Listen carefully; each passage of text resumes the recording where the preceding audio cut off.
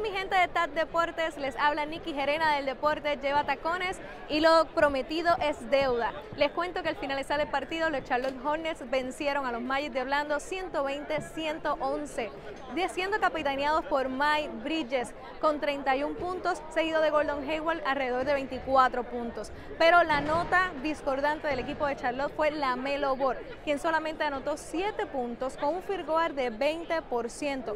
Un dato interesante es que la Melo no calentó mucho, estuvo alrededor de 5 minutos nada más. Lo vimos aquí en el calentamiento, así que quizás entró frío al estadio y aquí hoy ha sido un frío bastante chévere. Así que vamos a ver qué sucede y qué nos dice en conferencia de prensa. Así que quédese pegadito a TAT Deportes y el deporte lleva tacones. Hi. For the defense side, you asked before uh, usually about defense because the game service. How you see the team tonight? Our defense tonight. I saw one good quarter. I saw one good quarter. You know, uh, the fourth quarter is what it's got to look like. Um, I don't like seeing 30s, 30s on the board, 31, 30, 32, not going to be good enough for us. It's just not, you know, we got to be better in that area. So um, it starts on the ball. We got to be more physical, more aggressive. We found our way in the fourth quarter and closed it out. And we've done this in our four wins. For us to be a more consistent team and an, an elite team, we got to do it closer to 48. Thank you.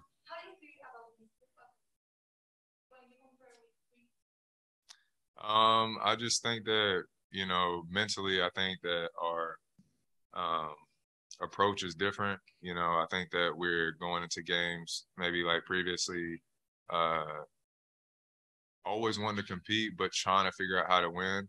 I think now that we, I think now we have a lot of good pieces and a lot of great pieces, and knowing how we win, it's just about our approach going in night in and night out and maturing in those areas we need to, taking care of the ball, um, time and score, just just uh, a lot of that stuff. Maybe like that we had to learn and kind of break through that wall in previous the previous years. Um, I think that we have a lot of, and that's what our vets have done a really good job at is making sure that we're mature in those areas and learning from our mistakes and um, kind of talking those things through, whether it's in practice or before and shoot around, but instead of after the game, you know, and we continue to still do that so that we we grow in that area.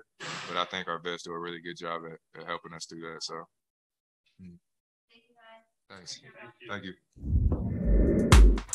¡Hey! Estás en el canal de YouTube de TAT Deportes. Suscríbete a este canal, aprieta la campanita para notificaciones para que te lleguen todas las notificaciones del mundo deportivo. El cafecito deportivo, los tacones del deporte, fogueo deportivo, el footcast y las reseñas de tap.cars. Deja tu comentario y vamos a discutir y a debatir como solamente lo sabemos hacer aquí en TAT Deportes.